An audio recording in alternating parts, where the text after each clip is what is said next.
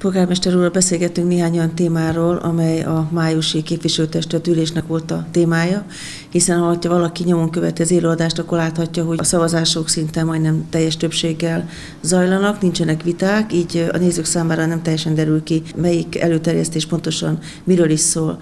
Kezdjünk itt talán az első, ami a strandot érinti. Ez a közterület felügyeletnek a munkájával kapcsolatos. Tudjuk azt, hogy a strand egyre népszerűbb a Dunaparton. Milyen változás került került be ebbe a rendeletbe, ami érinti a strandot? Ez a közterület rendjéről szóló rendeletet változtatta meg a képviselőtestület, eh, annyiban, hogy a strandőrséget, mint új szervezetet létrehozta, és betettük ebbe a rendeletbe.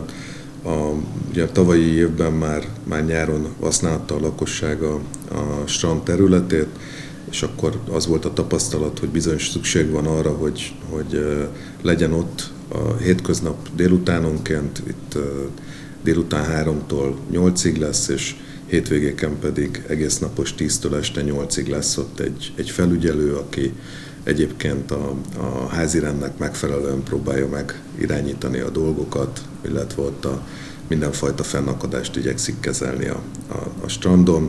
Játszótér őrség mintájára jönne létre ez a, ez a strandfelügyelet. Azt gondolom, hogy, hogy ez minden normálisan szórakozni, ott szórakozni vágyó embernek egy jó hír, hogy lesz egy ilyen, egy ilyen felügyelő, aki ott igyekszik fenntartani a rendet és a kultúrált szórakozási körülményeket. A város elhatározta, hogy Dunaparton egy strandot létesít, jó néhány évvel ezelőtt, akkor szóba került az is, hogy esetleg kerítéssel lesz körbevéve, és egy bizonyos időben ez be lesz majd zárva. Van-e még ilyen elképzelés, vagy most már marad a strand is ilyen formában működik? Hát hosszú távon nem tartom kizártnak, hogy ahogy fejlődik, ugye évről évre, ugyanúgy, hogy korábban a katonadombot szépen évről évre fejlesztettük, előbb-utóbb azt is körbekerítettük emiatt, nem tartom kizártnak, hogy eljutunk a, a stranddal is odáig, hogy ahhoz, hogy tényleg egy olyan színvonal megmaradhasson, ahhoz kerítéssel fogjuk körbevenni. Egyelőre ez most nincs rövid távon napi renden. Az önkormányzat élt elővásárlási jogával, és megvásárolta a Sweet Point épületét. Hogyha valakinek ez talán nem teljesen világos, akkor ez az az épület, ami a Fóti út és a repülőtéri út sarkán van tulajdonképpen. Milyen szándékkal vette ezt meg az önkormányzat? Igen, tavaly évvégén jött egy lehetőség, hiszen a, a bank mindenképp el akarta adni, a Sweetpoint felszámolása után egy bankhoz került, mindenképp el akarta adni, most már hosszú évek óta keresnek rá vevőt, és az önkormányzatnak elővásárlási joga volt. Most olyan kedvező áron sikerült ezt a területet megvenni, hogy a képviselőtestület úgy döntött, hogy a város megvásárolja tulajdonképpen a mai aktualitását azt hozta, hogy ezt a megvásárolt területnek azt a részét, ahol az üzemépületek voltak, azt a közüzemi KFT-be, mint aportba, aportálásként bevitte, ezzel növelte a törstőkéjét a KFT-nek, azzal a szándékkal, hogy, hogy a későbbiekben majd a KFT-nek a, a tevékenysége átkerül erre a területre, itt egy lényegesen nagyobb terület van, több mint két hektáros, a jelenlegi kevesebb, mint egy hektáros. Itt fölépített csarnokok vannak, amiket szépen föl kell újítani, birtokba kell venni, és talán a közüzemi Kft. így sokkal jobb körülmények között fogja tudni ellátni azt a tevékenységet, amit végez a város érdekében. Akkor ugye felmerül a kérdés, hogy mi lesz a közüzemi Kft. mostani telephelyével? Hát a tervek szerint a átköltözés után valószínűleg értékesítésre kerül.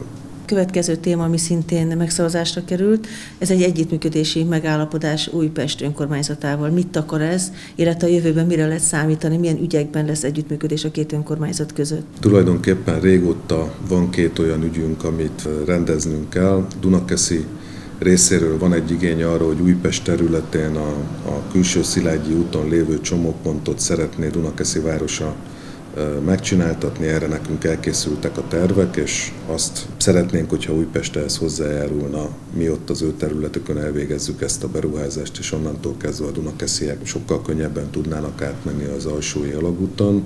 Újpestnek most jött egy hasonló ügye, a Székesdűlőbe ugye az Újpest területéhez tartozik, előtte van egy út, ami, ami, ami Dunakeszi illetőségű, ott pedig ők kérik a mi segítségünket, a, hogy mi pályázzunk, és azon keresztül lássuk el szilárd burkolattal. Mind a két önkormányzatnak van egy kérése a másik felé, és a képviselőtestület arra hatalmazott ma föl, hogy ez ügyben tárgyalásokat folytassa egy újpesti polgármester úrral. Egy másik pályázat is szóba került, amiről szintén szavazás történt, ez pedig a Széchenyi utcának a felújítása. Mely szakaszt érinti majd ez? Igen, a Széchenyi utca, utcának a Kossuth Lajos és a Szilágyi utca közötti szakasza borzasztó rossz állapotban van. Erre nyújtunk be egy, egy pályázatot, Mindenképpen célja egyébként a városnak megcsinálni ezt az utat. Reméljük, hogy a, a pályázaton elnyert összeg az segíteni fogja a béli törekvésünket, de egyébként a nyáron mindenképp szeretnénk megcsinálni. Akkor is, hogyha nem nyertek a pályázaton? Igen, igen és végezetül közterület elnevezésekről is szó került, egészen pontosan arról az útra, amely majd a, a már megépült és hamarosan átadásra kerülő bölcsödéhez, illetve hamarosan ott megvalósuló új óvodához vezet majd. Hol lesz ez az út pontosan, és milyen döntést adott az önkormányzat, hogy fogják hívni ezt a közterületet? Ez az Alagi Majori útról vezet be a Alagi, Alagliget lakópark mellett be a, az új óvodához és bölcsödéhez Végül is a képviselőtestület úgy döntött, hogy a Brunswick nevet fogja adni ennek az utcának. Brunswick Teréz és Brunswick Júlia azok a, ők unokatestvérek voltak. Júlia az első bölcsöde alapításba, Teréz pedig az első óvoda alapításba vett részt, illetve volt a kezdeményezője. Ennek tiszteletére a most elkészülő bölcsödét és óvodához vezető utat így neveznénk el.